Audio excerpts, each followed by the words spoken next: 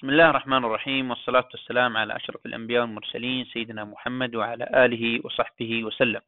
أرحب بكم أعزائي الطلاب والطالبات في خدمة دروس ودرسنا اليوم هو للصف الخامس الابتدائي في الفصل الدراسي الثاني من مادة العلوم وموضوع الدرس هو التغيرات الفيزيائية كيف تتغير حالة المادة. الدرس من إعداد المعلم فاضل عبد الله بخاري وتقديم محمد المجدول. دعونا أعزائي الطلاب والطالبات قبل أن نبدأ درسنا نستعرض الأهداف التي نسعى إلى تحقيقها بإذن الله تعالى في هذا الدرس. وهي أولا توضيح مفهوم التغير الفيزيائي. ثانيا تفسير التغير في حالات المادة المختلفة. ثالثا توضيح المقصود بشذوذ تمدد الماء. دعونا نتأمل الصورة الماثلة أمامنا. لدينا أيوة أوراق. لدينا أوراق بيضاء. آه، إيش اللي حصل لها؟ إيش اللي حصل من خلال ما ترى؟ أيوة في مقص يعني إيش؟ قصصنا الأوراق قصاصات صغيرة. إذا تحول الورق إلى قصاصات صغيرة. هذه نسميها قصاصات الورق. طيب لما أجيب لك كمية من القصاصات هذه لوحدها إيش بتعرفها على طول؟ أي على طول نقول ورق قصاصات من الورق. إذا السؤال هل تغير نوع المادة هذه؟ مادة الورق هل تغير نوعها؟ أيوة. طيب شو اللي حصل؟ إيش اللي حصل؟ أيوه. تغير ممتاز تغير الشكل. هذه المادة كان؟ كانت ورقة مستطيلة كبيرة. آه تغير شكلها وتحولت إلى قصاصات. إيش؟ نعم ممتازين. تحولت إلى قصاصات صغيرة. هل تغير النوع؟ المادة؟ اللون لا لم يتغير لا النوع ولا اللون ولا الت... اذا لا زالت الورق نفس مادة الورق ولكن تغير الشكل. اذا ممتاز. تغير شكل الجسم دون تغير نوع المادة المكونة له. يعطيكم العافية. طيب. إذا المادة توجد في كم حالة؟ من خلال ما تشاهده الآن. كم حالة للمادة؟ أيوة. الحالة ممتاز. ثلاث حالات. طيب خلونا نشوف. وش الحالة الأولى؟ خلينا ناخذ مثال الماء على المادة. الماء يعتبر مادة. طيب. هذه وش الحالة الأولى للماء؟ أيوة ممتاز. ماء في حالة صلبة. اللي هو إيش؟ ثلج. جيد. نعم. طيب وهنا؟ أيوة ممتاز. ماء في حالة سائلة اللي هو الماء السائل. طيب هذا اللي يطلع. أنا ما أبغى اللي جوا أترك ما عليك من جوا. هذا اللي يطلع من لما يكون عندك كأس فيه شراب ساخن. إيش اللي يطلع هنا؟ بخار الماء. طيب. بخار الماء وش حالته؟ سائلة؟ نعم ممتاز غاز. إذا لدي صلب ولدي إيش؟ سائل ولدي غاز. إذا كم حالة للمادة؟ ثلاث حالات.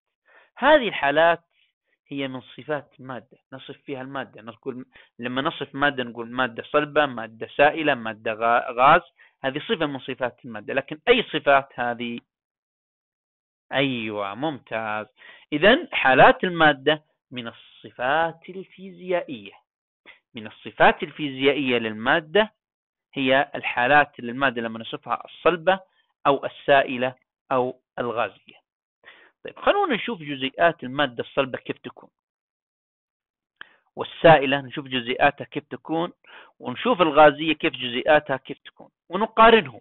قارن يلا الآن خليك فكر انظر للأشكال الثلاثة وقارن بين جزيئاتها. إيش تلاحظ؟ ممتاز. أيوة نجد أن جزيئات المادة الصلبة بينها روابط كثيرة مترابطة. نعم مترابطة. ومتقاربة فلذلك تكون صلبة. السائلة مترابطة أيضا ولكن هل في نفس درجة ترابط الصلبة؟ أقل أيوة ممتاز أقل ترابط. نجد فيها روابط بس قليل ليست زي الصلبة. لو نروح للسائلة آه عفوا الغاز. أيوة لا يوجد روابط أصبحت الجزيئات متحررة عن بعض خلاص. أيوة فتكون أكثر حرية في الحالة الغازية الجزيئات. طيب. حلو ممتاز. طيب التغير في حالات المادة. لو أخذنا التغير في حالات المادة وأن المادة تتغير من حالة إلى حالة. لو أخذنا قطعة ثلج حالتها إيش ممتاز حالة صلبة. ووضعناها لبعض الوقت على الطاولة. وأخذنا نحسب وقت مع مرور الزمن. تبقى الثلج على صلب أيوة نعم. يتحول إلى الحالة إيش؟ السائلة. طيب. طيب نتركه. ما نخلي السائل ونخلي في مكانه. نخليه يمر الوقت أكثر. إيش بنحصل السائل لو لو تركناه فترة زمن أطول نجد أن الماء بدأ يتناقص حتى ينتهي. لم يعد موجود. وين راح؟ أيوة تحول إلى غاز. تبخر وأصبح غاز. طيب إذا المادة تتغير حالاتها من حالة إلى أخرى. طيب ما الذي يسبب هذا التغير ليش؟ لماذا المادة تحولت من صلب إلى سائل ثم إلى غاز؟ في سبب. يلا خلونا نفكر. ها وصلتوا لنتيجة؟ إيش اللي يخلي المادة تتغير حالاتها؟ أيوه طيب حلو. خلونا نشوف. قارن إجابتك مع اللي بنصل إليه. أيوه نشوف. المادة في الحالة الصلبة. لو لاحظنا نجدها أكثر تراص في جزيئاتها متقاربة الجزيئات وروابطها قوية روابطها مترابطة في روابط. لما تتحول إلى سائل المادة الصلبة تتحول إلى سائل. هذا شو نسميه؟ من صلب إلى سائل. إيش نسميه؟ نعم ممتاز. التحول هذا نسميه انصهار. الانصهار تحول المادة من حالة صلبة إلى سائل. إيش اللي حصل؟ إيش اللي حصل؟ شو أيوه ممتاز. اذا الحرارة. اذا العامل الأساسي والمسبب الأساسي لتحولات المادة هو الحرارة. عندما تكتسب الجزيئات حرارة تكتسب حرارة تتحرر الجزيئات. وتروح هذه طاقه الحرارة تروح الطاقة في تحرير الجزيئات بين المادة فتصير الجزيئات أكثر حرية من حالتها الصلبة. فتبدأ في الاهتزاز. لاحظ أن الجزيئات بدأت تتحرك لم ت... ليست مستقرة وروابطها بدأت تتوسع أكثر وتقل بسبب اكتساب الحرارة. ممتاز. عندما تكتسب الجزيئات حرارة أكثر هل تبقى سائلة؟ أيوة. إذا لما تكتسب حرارة أكثر تبدأ إيش؟ تتحرر الروابط أكثر. وش تصير؟ إيش تصير؟ لما تتحول من سائل إلى أيوه ممتاز. إلى غاز. وهذا التحول نسميه تبخر. نسميه تبخر. يتبخر السائل ويصبح غاز وتتحرر الجزيئات وتزداد حركة الجزيئات واهتزازاتها لاحظ اهتزازات تجد فيه حركة للجزيء أكثر حرية أكثر لما يكون في حالة الغاز. طيب لما يصير العكس إحنا نتكلم الآن عن زيادة الحرارة زيادة الحرارة. لما يصير نقصان للحرارة الغاز هذا تنقص يتعرض لدرجة حرارة أقل. لبرودة مثلا إيش يصير للغاز؟ هل يبقى غاز؟ ها. أيوة. يرجع الغاز يتحول إلى العكس اللي هو السائل. ليش؟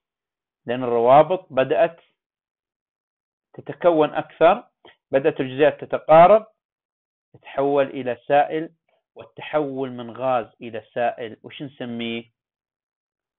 تكثف. نعم إذا العامل دائما الأساسي في التحولات حالة المادة هو درجة الحرارة. ممتاز. طيب لما تن... لما تنخفض الحرارة أكثر إيش يصير للسائل؟ هل يبقى سائل؟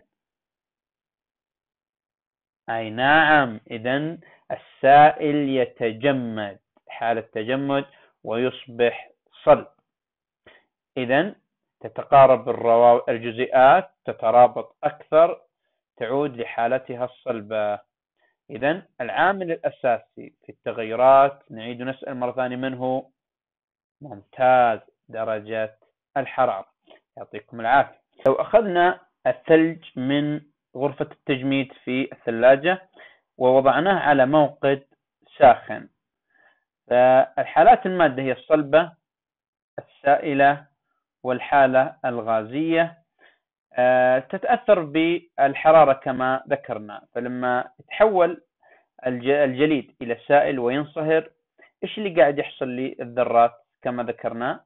لاحظ نجد عند التحول والانصهار تتفكك روابط آه، الجزيئات وتكثر وتصبح أكثر حركة.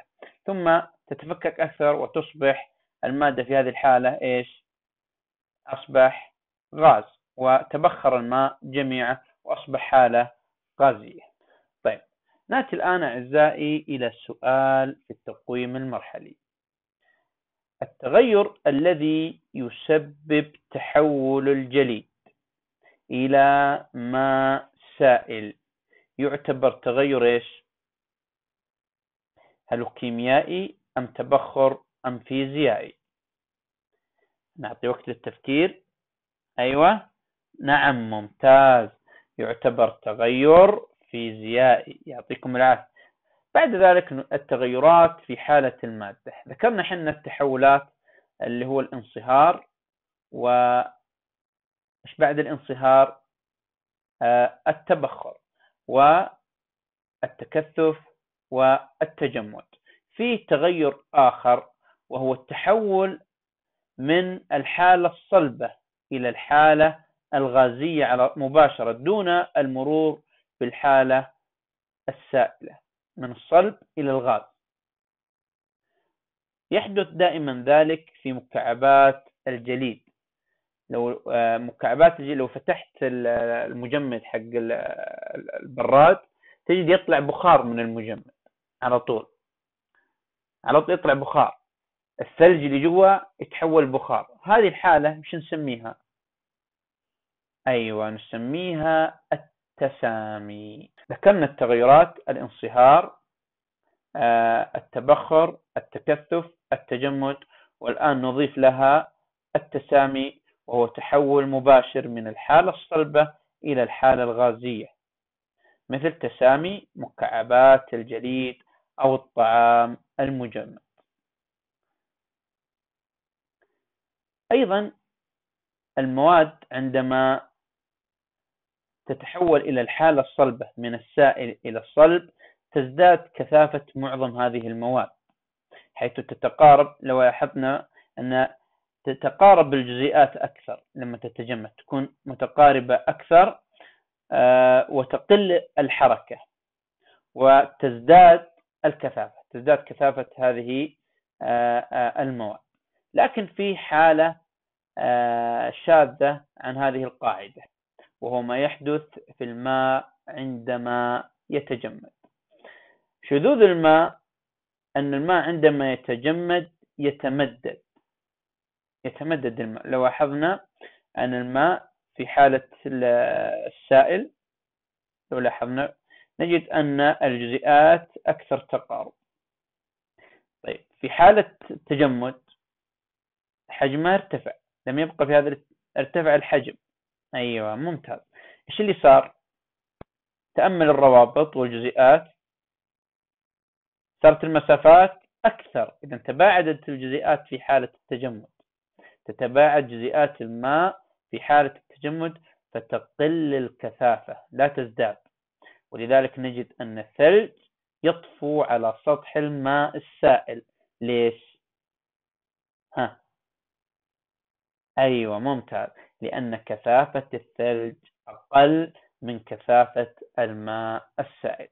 وهذا يعتبر شذوذ في القاعدة فإن الماء عندما يتمدد عفوا آه، الماء يتمدد عندما يتجمد.